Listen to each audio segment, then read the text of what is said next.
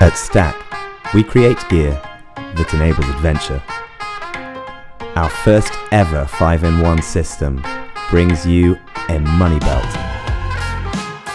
expandable waist pack, a sling with an internal drinks holder, a fully expanded musette bag, and when you're done traveling or using it, it packs into its pocket. All in one pack that can be worn whichever way you prefer.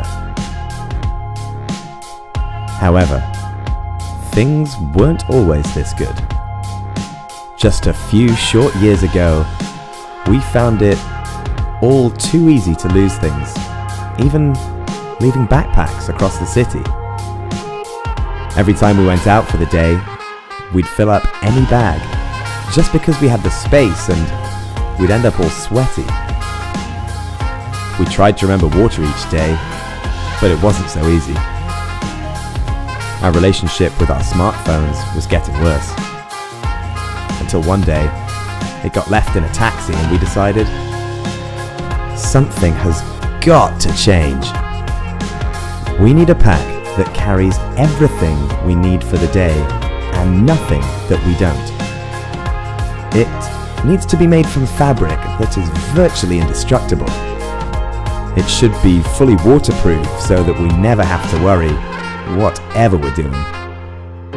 It needs to be the most flexible day pack the world has ever seen.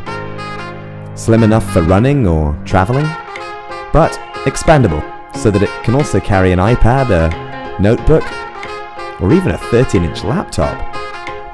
It needs to carry a water bottle, or at least two cans for the end of a long day. A fleece lined pocket to protect our smartphones, or protect us from our smartphones. We'd need some loops to hold a carabiner or bike lock. Obviously, a removable waistband would be handy. Oh, and the waistband must not dangle. It took us some time. 22 months, in fact. Too many designs to count. Hundreds of fabrics, buckles, and prototypes. But I can confirm we've finally completed it. We'd like to introduce the Stac Pack, an all-weather 5-in-1 adventure pack for people that want to carry everything they need for the day and nothing that they don't.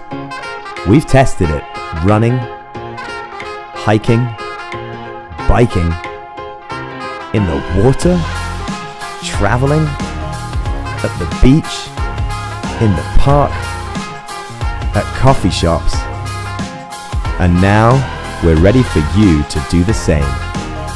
Join us in making the ultimate pack for a day's adventure.